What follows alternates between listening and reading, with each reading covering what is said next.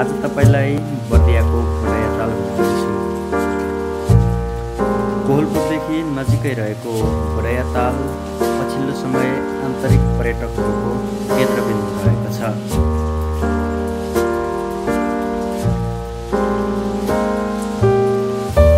कोहलपुरदेखि करिब तिस किलोमिटर पश्चिममा रहेको घोडाया ताल बर्दियाको घोडाया ताल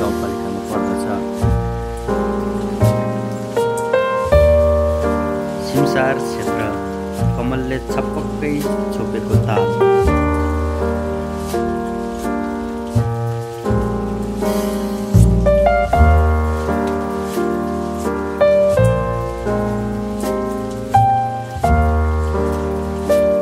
विभिन्न प्रजातिका चराहरूको वासस्थान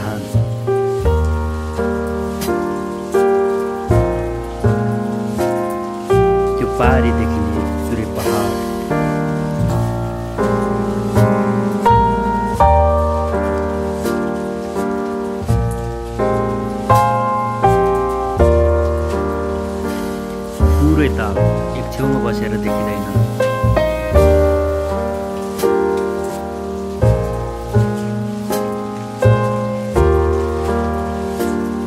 त्यसैले यहाँ आउने पर्यटकहरूका लागि पुरै ताल देखियोस् भनेर तालको मध्यभागमा टावर बनाइएको छ।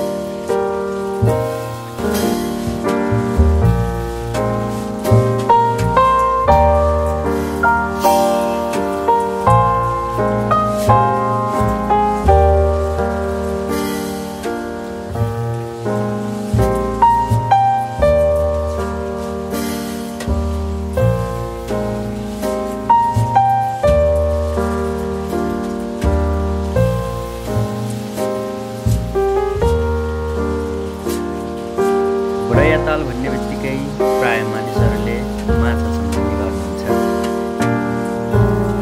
यहाँ विभिन्न प्रजातिका माछाहरू पनि पाइन्छन्।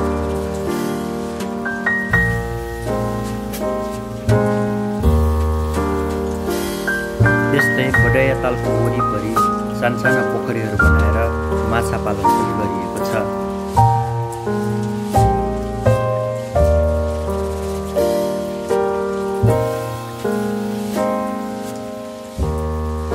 ताल आफैमा सुन्दर छ तर पनि यसले संरक्षण खोजिरहेको छ।